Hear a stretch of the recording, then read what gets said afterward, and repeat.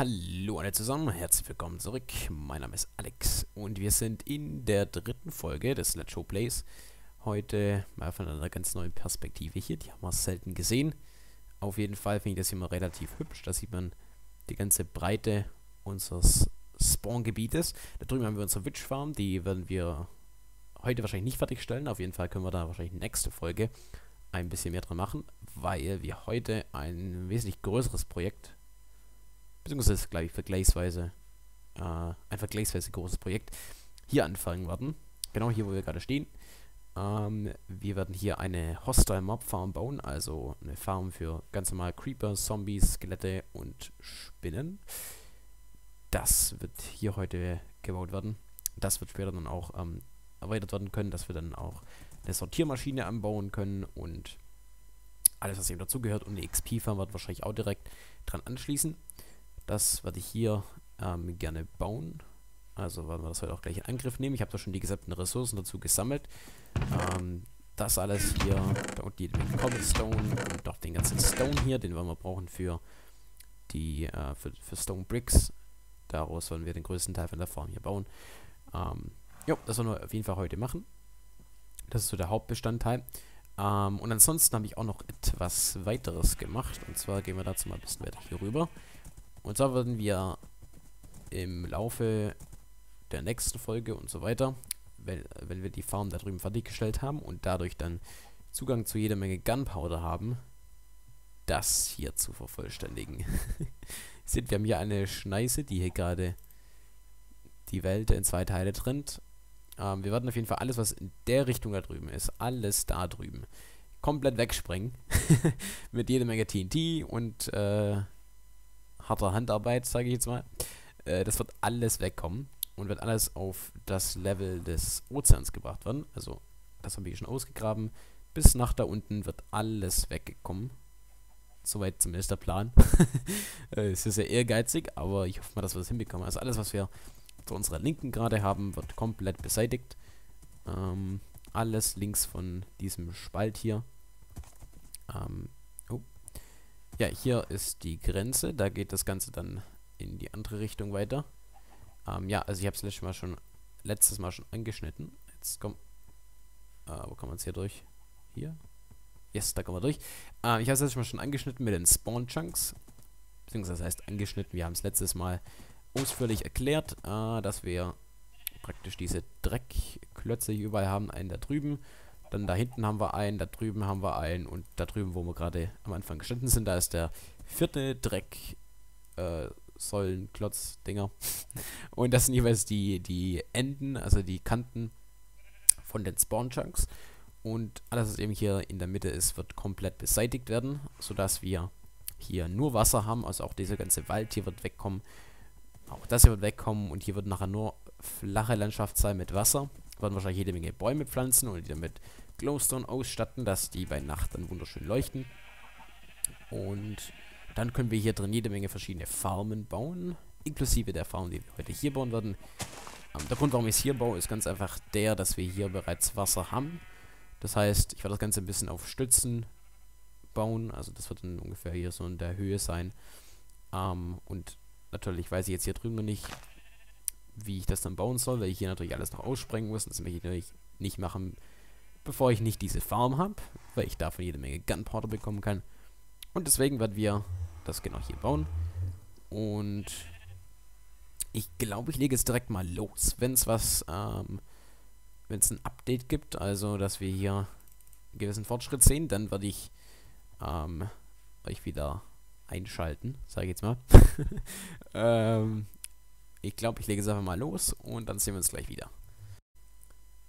Okay, kurze Status-Update. Wir sind jetzt hier oben auf dem sehr heikel aussehenden Konstrukt hier. Ähm, ich habe so Stark Oak, weil ich davon einfach so viel habe. Wirklich unglaublich viel, nachdem ich irgendwo da hinten hinter diesen Bergen da ähm, einfach bis zum Schwarzwerden äh, Dark Oak also äh, abgeholzt habe, ähm, um diese Saplings zu bekommen für unser Nether Loch in der Decke Projekt. Ähm, deswegen habe ich das hier benutzt und habe jetzt äh, diese vier Stützen gebaut und habe auch hier schon die Verbindungsstreben reingebaut. Jetzt muss ich gerade nur diese ähm, Seitendinger hochbauen und dann kann ich auch schon anfangen, das hier alles aufzufüllen mit, ähm, mit der eigentlichen Farm. Und was ihr hier schon sehen könnt, diese Aussparung hier, das ist, ähm, wo nachher die, äh, wo nachher praktisch der Abfluss sein wird, also wo die ganzen Mobs dann runterfallen und dann werden die dieser, diesem Kanal hier nach hier vorne getragen, wo sie dann eben nach unten fallen und dann weiter verarbeitet werden. Okay, soweit mal dazu. Wir sehen uns gleich wieder. Hm, das sieht schon mal nicht schlecht aus, oder? Also ich finde, es sieht ganz cool aus mit diesem diesen riesen fetten Stützen aus Dark Oak hier. Oh, ich bin ganz zufrieden, wie es bis jetzt aussieht. Ich habe schon da drüben und hinten dran äh, die Wände mit Stone Brick ausgefüllt. Ich muss jetzt hier gar nur noch die Vorderseite machen und die linke Seite da drüben.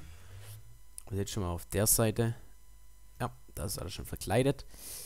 Ähm, jetzt direkt überhalb von dem, was jetzt hier gerade schon steht, werden noch drei Schichten Hardened Clay kommen.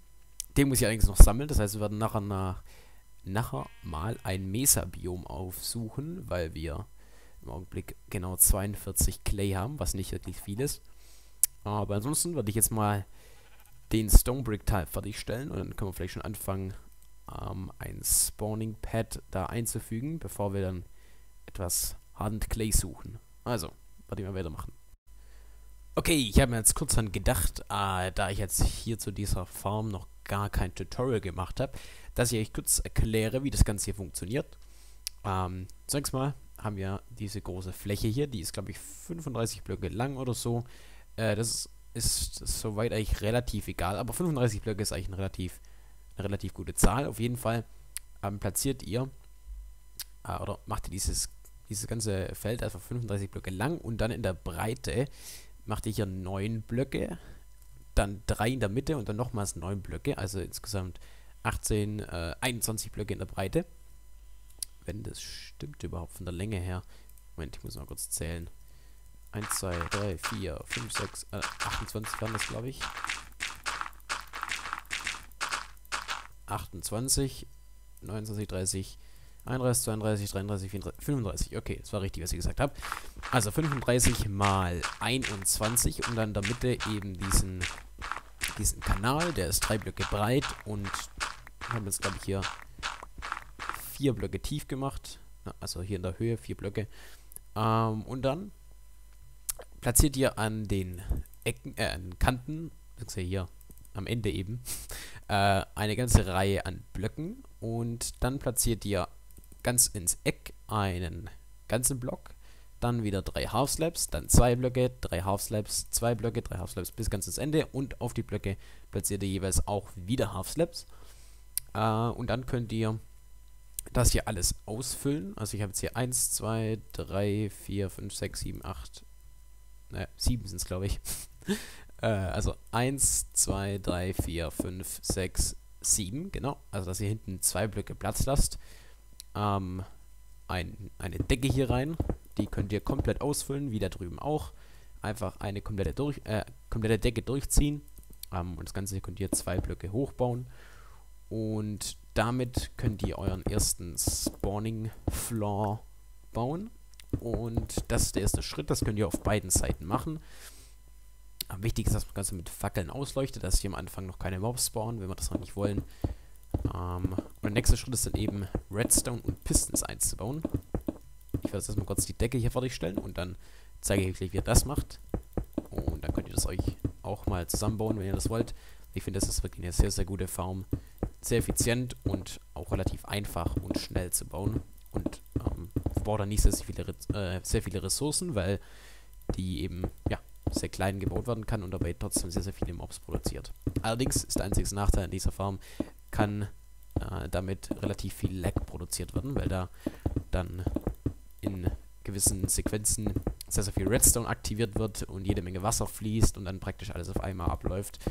Und deswegen das dann für gewisse Computer ein bisschen unschön werden kann. Aber Jetzt auf jeden Fall platziere ich hier mal wieder meine Fackeln. Und dann sehen wir uns gleich wieder. Okay, im nächsten Schritt ähm, macht hier eine Wand oben drauf, die exakt vier Blöcke hoch ist und die ganze Länge entlang geht. Also wir haben hier unseren äh, unsere Decke und da macht er einfach nochmal 1, 2, 3, 4 Blöcke drauf, dass es insgesamt 5 sind und das die ganze Länge durch. Uh, Treffer, okay. Ach, ich finde es immer richtig cool, wenn man hier aus der Perspektive das Ganze sieht. Finde beim Sonnenuntergang mit den ganzen Farben und mit den schönen Blumen hier. Einfach herrlich. Jetzt kann ich eben kurz mal schlafen gehen und dann schauen wir uns gleich an, was der nächste Schritt an dem Bauprojekt da oben ist. Zack, da haben wir es. Ähm, ich habe da jetzt gerade noch mal einige Schritte weiter gearbeitet. Dann zeige ich gleich mal, wie ihr dann noch weitermachen müsst. Falls ihr euch also so eine Farm selber bauen wollt, dann folgt einfach den Anweisungen. Okay. Also. Okay, hier oben haben wir es jetzt. Wir haben die beiden Wände hier links und rechts. Und jetzt geht ihr her und fügt hier außen nochmals zunächst eine zwei Block hohe Wand hinzu. Einfach zwei Blöcke hoch. Und dann platziert ihr da drüber, ähm, beginnt von der Seite hier drüben, wo ihr nachher die ganzen Mobs hinfließen lassen wollt. Also mir geht der ganze Kanal nachher von dort hinten nach dort vorne. Also das ist die hintere Seite, das bei mir die Vorderseite. Und von der Vorderseite aus zählend geht jetzt mal zwei Blöcke dann. Dann lasst ihr einen Block frei, eine Pisten in eure Richtung. Dann drei Blöcke, dann wieder ein Block frei, eine Pisten, drei Blöcke, Block frei, Pisten und so weiter bis ganzes Ende. Also die Wand hier ist vier Blöcke hoch und darunter haben wir den Boden. Also wenn wir das von vorne betrachten, hatten wir hier ja 1, 2, 3, 4, 5 Blöcke. Und hier drüben habt ihr dann praktisch von unten aus gezählt 1, 2, 3, 4 Blöcke. Auf dieses Level hier. 4 Blöcke. Und auf diesem vierten Level lasst ihr eben hier immer die, den Platz und platziert auch die Pistons. Okay. Ähm, und dann macht ihr das so, dass ihr ähm, dort überall, wo ihr die Öffnung habt, ein Wasser platziert. Mit einem, na, mit einem Block Abstand eben, dass das hier dann abgeschnürt werden kann nachher. Dass das Wasser dann hier stoppt und die Pisten ausfährt. Und die Pistons, die könnt ihr auch gleich verkabeln. Und zwar sendet ihr einfach Redstone von hinterhalb durch diesen Block hier durch zu der Pisten. Da macht ihr einfach eine Redstone Line ganz entlang bis ans hintere Ende von eurer Farm. Ähm, da wollen wir nachher hier ein Loch reinmachen. Das geht dann nach oben, wo dann eben äh, die gesamte Steuerung ist. Und ihr könnt dann das hier auch alles abdecken. Komplett ähm, abdecken könnt ihr das hier hinten, könnt ihr freilassen, könnt ihr einfach hier oben die nächsten Blöcke platzieren. Ähm, und das hier wird dann praktisch das nächste äh, Spawning-Pad. Ich werde nämlich jetzt in dieser Version hier zwei Stück bauen. Ihr könnt natürlich auch nur ein, äh, ein Spawning-Floor bauen, aber ich finde, dass es sich sehr anbietet, einfach zwei von denen zu bauen. Ähm, auf der anderen Seite machen wir das jetzt nochmal kurz hier. Äh, wir haben hier unsere Verkabelung nämlich äh, installiert. Also einfach hier mit äh, einfach hier die ganzen Re äh, die Redstone-Line platzieren mit praktisch einem Block Abstand, aber zwei Blöcken Abstand von der Wand hier, dass es genau in der Mitte ist von diesem Raum hier. Ganz bis ans vordere Ende der Farm, also das ist das hintere Ende der Farm und wir gehen ganz nach vorne. Na, also hier nochmal, das ist das vordere Ende der Farm. Und müssen wir gerade schauen, dass wir das hier richtig treffen. Ja, genau, hier haben wir die Pistons, also braucht das bloß bis hierher zu machen.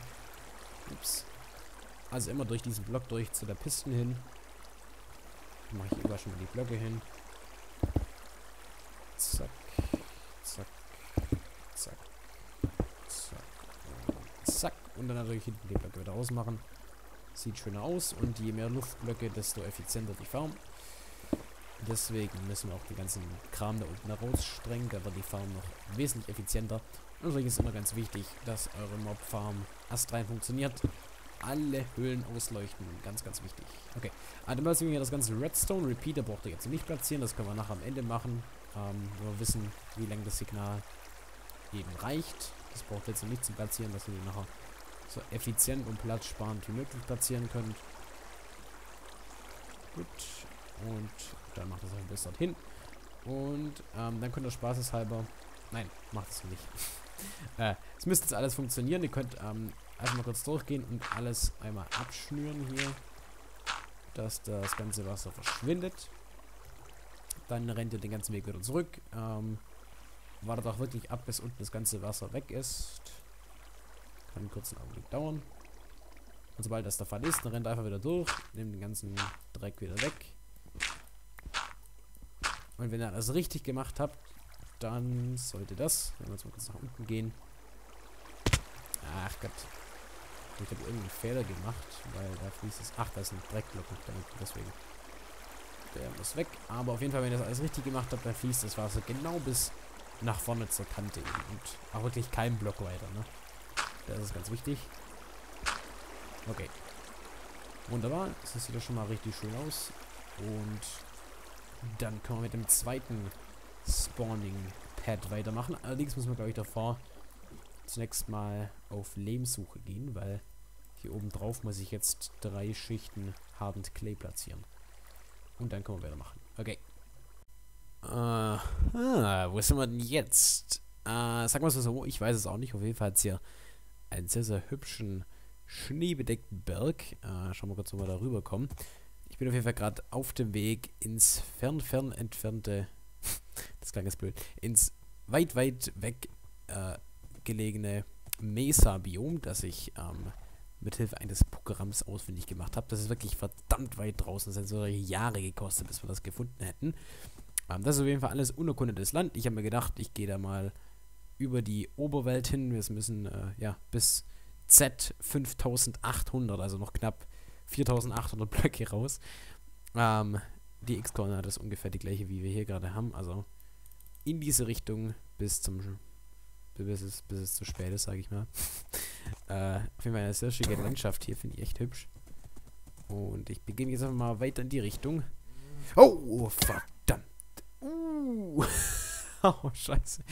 Das hätte richtig böse enden können. Ähm, ich habe mein Pferd dabei. Ich werde einfach mal so lange jetzt mit dem Pferd weiterreiten, bis wir auf den Ozean stoßen.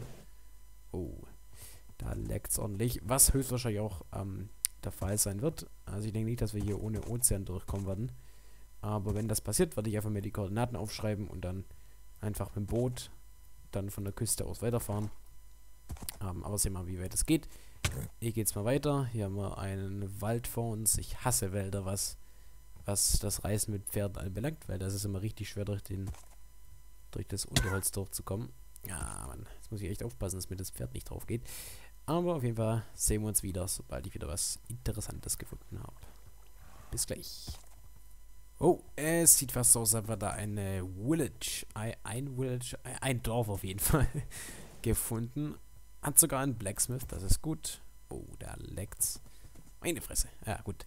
Liegt wahrscheinlich daran, dass gerade so viel neues Land generiert wird. Also schauen wir mal hier rein. Oh, meine Fresse, das ist, das ist hart. Renn mir nicht weg, Pferd. Aha. Oh, ein Sattel, das nehmen wir mit. Der Rest ist mir echt egal. okay, sonst was haben wir hier? Wir haben eine Bibliothek. Ich glaube, ich nehme einfach mal die... Na komm, ich habe genug Sugarcane. Ich glaube, die Bücherregale brauche ich nicht mitnehmen. Ja, nee, das, das passt schon. Zwei Büchereien sogar, das ist interessant. Okay. Was handelt ihr so? Na, Gravel und Emeralds gegen, gegen was? Gegen Flint? Nee, danke. Den Flint kann ich mir selber besorgen. Elf Bücher gegen einen Emerald. Na gut. Was hat der hier? 17 Wolle gegen einen Emerald. Na gut, okay. Gehen wir mal weiter. Ich glaube aber nicht mehr sehr weit, weil wir stoßen hier. Ja, ich glaube, wir sind hier sogar direkt am Ende. Mhm, ja. Doch, wir sind hier am Ende. Und zwar bei 1800, also haben wir noch äh, 5, nein, 4000 Blöcke zu gehen. Und ich glaube, davon wird der größte Teil per Boot sein. Also ich glaube, ich gehe nochmal hierher und mache eine kleine Station, wo wir unser Pferd hinterlassen können. Zack. Da kommt unser Pferd rein. Oh, komm, renn nicht weg. Nein, nein, hier rein. Wunderbar. Und dann gehen wir einfach den ganzen Rest per Boot. Ich glaube, das wird dann auch noch ein bisschen schneller gehen. Über den Ozean, wenn da wirklich, das sind auch keine Hindernisse. Das geht meistens eigentlich am schnellsten. Und irgendwie kommt es mir auch so vor, als ob die Boote mittlerweile auch ein bisschen schneller geworden sind. Ähm, Koordinaten muss ich mir, glaube ich, noch kurz aufschreiben. Und dann begebe ich mich mal weiter in die Richtung. Mal sehen, was auf uns zukommt. Eisberg voraus, Eisberg voraus. Äh, oder vielleicht auch noch ein Ice Spikes Biom. Oh mein Gott, wir haben ein Ice Spikes Biom gefunden. Yeah! Mesa Biom. Endlich. sind sogar ein bisschen früher drauf getroffen. Das scheint noch ein bisschen weiter hier rüber zu reichen. Auf jeden Fall Wow, das ist eine echt eindrucksvolle Küste, muss ich schon sagen. Fahren wir mal hier ein bisschen entlang, was sehen, was wir alles noch finden. Ah, einfach cool. Ja, da können wir auf jeden Fall jede Menge Clay sammeln. Ähm, wir müssen, glaube ich, noch ein Portal einrichten, dass wir hier wieder herkommen. Das können wir im Nether gleich machen. Vielleicht noch in dieser Folge, wie auch immer. Ja, oh, da oben haben wir auch Bäume. Ich glaube, ach Gott. Okay, Boot ist kaputt. Dann gehen wir hier gleich mal an Land. Oh, herrlich, herrlich, herrlich. Oh, schau ich den ganzen Red Sand an. oh, das ist echt fantastisch. Ja, darauf habe ich jetzt eine lange Zeit gewartet. Gut, dass wir das auch endlich mal einsammeln können. Ich glaube, ich mache es einfach mal kurz die ganze Schaufel noch kaputt in dem Red Sand. Gut, da machen wir eine Menge davon gesammelt. Und ich glaube, dann gehe ich jetzt mal hier auf die Bergspitze hoch. Oh, das ist ja cool. Warte, ich nehme mal kurz eine Speed Potion. Wir sind gerade bei Tagesanbruch noch. Ich habe auch jede Menge Wolle dabei. Das heißt, wir können dann uns auch ein Bett bauen, dass wir noch die ganze Nacht durcharbeiten können. Dann mache ich, glaube ich, einfach mein Inventar voll mit jede Menge Hardened Clay. Oh, Mann, das ist ein Paradies. uh, ja, ja. Okay, das kann man dann auf jeden Fall alles abbauen. Gibt es jetzt noch irgendwas Cooles zu sehen? Also, äh, was außergewöhnlich Cooles, weil das ist alles schon verdammt cool hier. Ich bin gespannt, ob wir hier vielleicht auch ein Mesa Bryce Biom finden. Bryce ist äh, das Mesa Biom, in dem sich dann ähm, solche ovalen Säulen finden. Oder nicht oval, aber solche komischen Säulen eben. Und, ups, ähm, ist das gerade über äh, im normalen Mesa-Biom? Ah, hier Mesa Bryce. Ja, genau, das ist es ja. Da ist normales. Ja, genau, das sind überall diese Säulen. Die finde ich richtig cool. Weil das hier sieht es nicht so schön aus. Sieht das hier noch was aus? Hm. Ja, wenn wir kennt ihr diese Säulen, das gibt es ja in Amerika, da gibt es ja diese, diese Region, wo die da überall in die Höhe ragen. Ja, ganz genau. Okay. Gut, dann werde ich mal hergehen und hier mal einen ganzen Haufen abbauen. okay, wir sehen uns gleich wieder. Uhuhu, das ist wie ein Paradies. Wenn das da vorne nicht eine Art von Fata Morgana ist, dann ist das da vorne ein Savannenbiom. Ach du Scheiße. Savannenbiom, Savannenbiom. Ich komme sofort auf den Weg. Ja, das ist ein... Sa oh mein Gott, das ist Savannenbiom. Wie schön es hier auch aussieht mit dem ganzen Red Sand. Meine Fresse, schau dir mal Pan das Panorama hier an. Das ist echt hart. Ich muss mal kurz äh, das hier auf 16 Chunks stellen. Meine Fresse, das wird das richtig richtigen Weitblick hier geben. Moment, lass uns mal kurz laden. Oh Mann, das ist ja arschgeil. Oh, ich hätte nicht gedacht, dass wir es heute noch erleben. ja, ja, ja, ja, ja. Ja, da hinten lädt alles noch rein. Das könnte jetzt ein bisschen laggen, weil ich glaube, mir reicht der ganze Prozessor und der Arbeitsspeicher nicht wirklich aus, aber mh, mm, das ist herrlich. Ja, ich glaube, da geht noch ein bisschen mehr. das hinten ist noch relativ hart abgehackt am Ende. Ich glaube, da geht noch ein bisschen was. Oh Mann, das ist herrlich. Da wollen wir auf jeden Fall Akazienholz mitnehmen. Dass wir das dann... Oh, aufpassen. Dass wir dann Akazienholz mitnehmen können und das dann auch zu Hause anbauen können. Oh, schaut euch an. Yes, yes, yes, yes, yes, yes. Oh, yeah. Okay, da würde ich auf jeden Fall jede Menge mitnehmen. Jetzt möchte ich allerdings nicht länger mit dem ganzen Lag hier verwirren. ja, das ist leider ein bisschen akut hier, aber wenn ich das wieder zurückstelle, soll es wieder relativ gut klappen. Bei 11 Chunks war ich ganz zufrieden. Und das ist ehrlich gesagt auch richtig viel. Auf jeden Fall genug. Okay, ich sammle mal ein bisschen mehr Akazienholz. Wow, leckt das hier nochmal. Und noch viel, viel mehr Hardened Clay. Und dann sehen wir uns wieder, wenn wir die Rückreise antreten. Okay, mein Inventar ist jetzt voll mit Hardened Clay. Zumindest soweit ich eben Platz hatte. Äh, ich habe auch ein bisschen Akazien-Saplings mitgenommen, auch ein bisschen Holz davon. Und ich habe jetzt immer ein, Pla äh, ein, ein, ein, was, ein Portal aufgebaut. Wir sehen mal, wo uns das hinbringt. Ich habe hier meine Koordinaten. Äh, Moment. Ziemlich genau hier habe ich die Koordinaten. Ich tue die mal hier, hier rüber schieben. Okay, da haben wir sie. Ähm, dann sehe ich jetzt mal, wo ich da hin muss. Oh. Aha. Wir sind... Okay, offensichtlich sind wir an einem neuen Ort rausgekommen. Aha, alles klar. So, wir müssen jetzt äh, das ganze Portal nach oben verschieben. In die Höhe. Ähm, um genau zu sein, oben eben in die Decke rein, auf der Höhe von 115. Ich glaube, ich mache das mal schnell. Ich baue mal schnell das hier ab und setze es nach oben. Okay, wir setzen gerade noch den letzten, die letzten, das letzte, auf jeden Fall die letzte Schicht, würde ich mal sagen, von äh, Hard Clay hier oben drauf. Ähm, insgesamt waren es übrigens vier. Ich habe gedacht, das, das waren nur drei anfangs, aber es waren offensichtlich doch vier. Äh, das sollte jetzt, glaube ich, reichen hier. Okay, ja. Also da haben wir jetzt vier Schichten Cyan, Hard Clay. Äh, da jetzt noch oben drauf gesetzt. Ähm, das heißt, ich werde jetzt noch diese Schicht von Spawning Pad abdecken und dann kommt noch eine weitere Schicht drauf und dann kommt da eben die gesamte Verkabelung und alles weitere in die Decke hier oben mit rein. Also, dann werde ich das eben nochmal schnell machen und dann sehen wir uns gleich wieder. Okay, das Dach ist fast fertiggestellt. Ich muss gerade noch das, was hier in der Bild noch offen ist, was noch relativ viel ist, äh, mit Stone Slabs auskleiden, bzw. überdachen. Ähm, leider habe ich da keine mehr, deswegen gehen wir jetzt mal schnell runter, wo wir dann kurz mit dem Boot ein kleine, eine kleine Rundtour machen. Um das Ding kann man gerade sehen, wie das so von außen rundherum aussieht. Finde ich ist ganz schön geworden. Ja, also natürlich ist es nicht das filigranste Gebilde, aber ich finde, ähm, dass die Stützen auch relativ gut passen in Proportion zu dem relativ gewaltigen Oberbau. Und hier aus der Seite sieht es auch nicht ganz schlecht aus. Vielleicht kann man da noch ein bisschen was draus machen. Sieht fast aus wie, fast aus wie so ein Gesicht von hier. hier ist ein riesen vierbeiner Vieh. Ich weiß auch nicht, was es sein soll. Naja, auf jeden Fall. Da lässt sich vielleicht auch noch was draus machen. Mein, mein Gott, diese neue Bootmechaniken, da bin ich immer noch nicht dran gewohnt. Na, okay. Äh, auf jeden Fall, das sind ähm, die Kabelschächte, wo das Kabel vom oberen Stock in den unteren Stock runter musste. Und jetzt bleibt im Augenblick nur noch der Schritt übrig, in der Mitte Wasser reinzufüllen. Und sobald das getan ist, können wir vorne weiterlegen.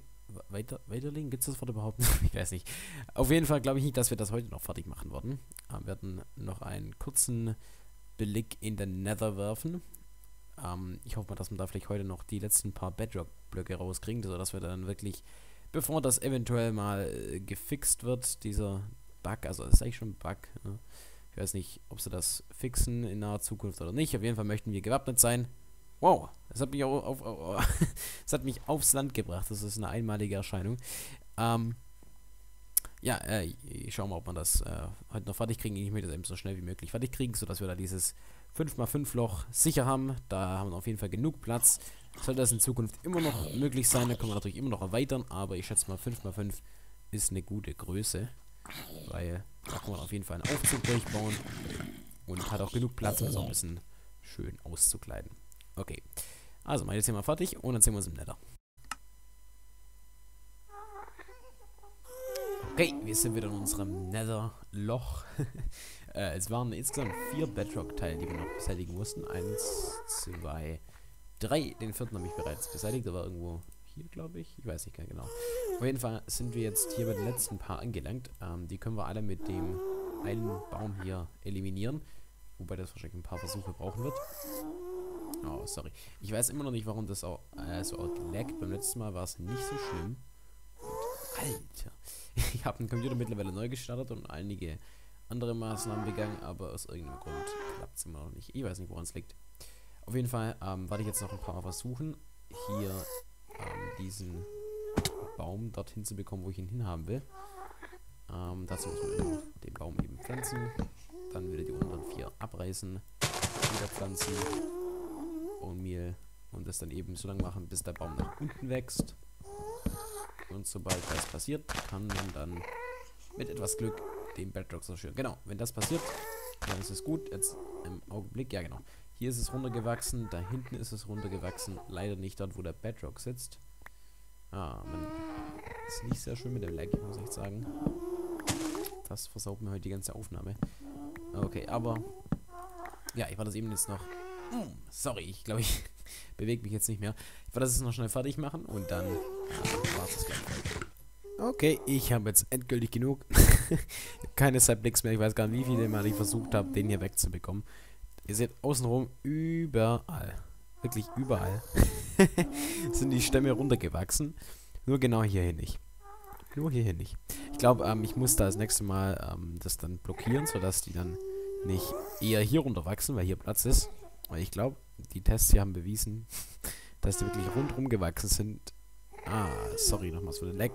Nur eben hierhin nicht. Ja. Das heißt, ich glaube, ich muss außenrum einfach überall Blöcke platzieren, dass dann die Wahrscheinlichkeit hier weiters erhöht wird.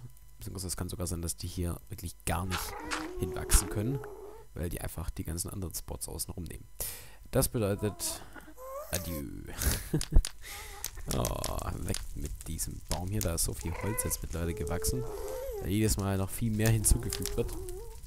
Oh, naja, okay. So wie dazu. Und ich hoffe, dass ich das bis zum nächsten Mal dann von uns fertig bekomme. Und ansonsten würde ich sagen, vielen herzlichen Dank fürs Zuschauen. Wie üblich. Dahin geht mein Flint und Stil. Und ich hoffe, wir sehen uns wieder beim nächsten Mal. Bis dahin nicht vergessen, einen Kommentar und eine Bewertung zu hinterlassen. Darüber freue ich mich immer riesig. Und dann sehen wir uns wieder.